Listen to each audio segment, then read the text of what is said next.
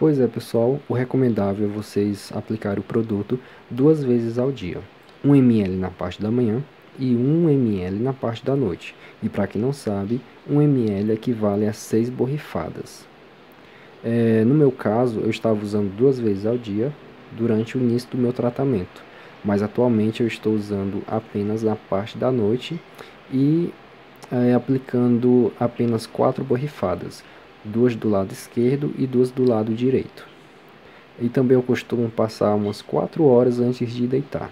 Enfim, vocês vão aplicar o produto na área afetada e vão fazer movimentos circulares de baixo para cima, lentamente massageando para espalhar o produto bem.